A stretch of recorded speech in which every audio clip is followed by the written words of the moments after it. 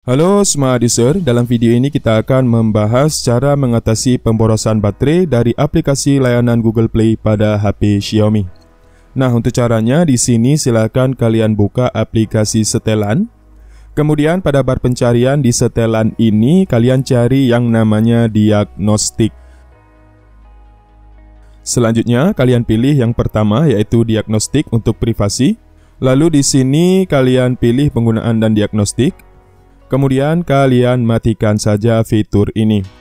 Ini adalah fitur dari layanan Google Play yang selalu berjalan di latar belakang sehingga membuat penggunaan RAM dan juga penggunaan baterai di HP-nya menjadi boros. Fitur ini berguna untuk mengirimkan beberapa informasi device kepada pihak Google sehingga Google dapat men-tracking device yang kita gunakan yang tujuannya agar Google dapat mempelajari dan juga memberikan update yang lebih sesuai untuk pengguna HP-nya di masa yang akan datang.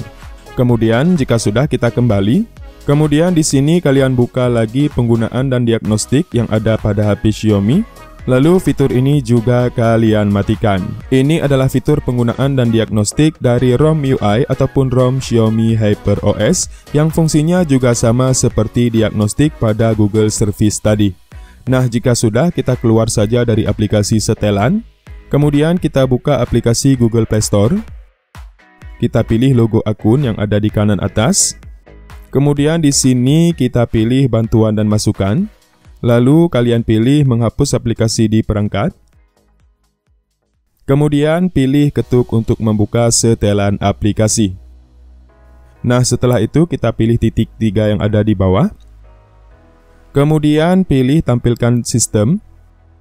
Lalu sekarang kita cari aplikasi yang bernama layanan Google Play. Nah, di sini kita pilih paksa berhenti untuk layanan Google Play-nya. Jika for close seperti ini, kita buka lagi bantuan dan masukan, kemudian ketuk untuk membuka setelan aplikasi, kemudian kita cari layanan Google Play lagi. Nah, sekarang kita pilih penyimpanan dan caca, lalu kita pilih hapus caca,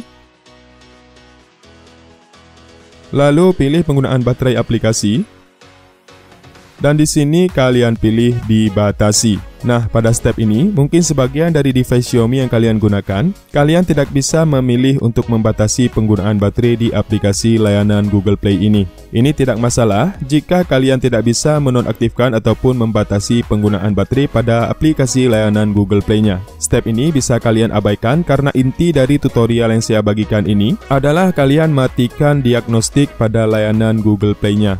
Karena itulah penyebab pemborosan baterai dari aplikasi layanan Google Play pada HP Xiaomi.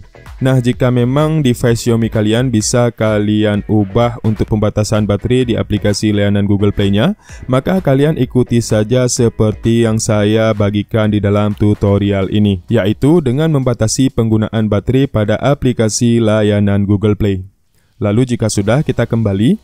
Kemudian di sini kalian bisa pilih aplikasi Google, Kemudian pilih penyimpanan dan caca. Lalu pilih hapus caca. Selanjutnya pilih penggunaan baterai aplikasi. Lalu di sini kalian pilih dibatasi. Kemudian kembali, kalian pilih Google Play Store, lalu pilih penyimpanan dan caca, kemudian pilih hapus caca, lalu pilih penggunaan baterai aplikasi, kemudian kalian pilih dibatasi.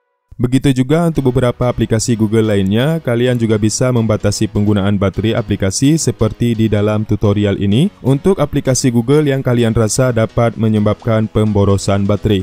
Nah, beginilah cara mengatasi pemborosan baterai pada aplikasi layanan Google Play pada HP Xiaomi. Semoga bermanfaat. Sampai jumpa lagi di video selanjutnya. Salam Smart User.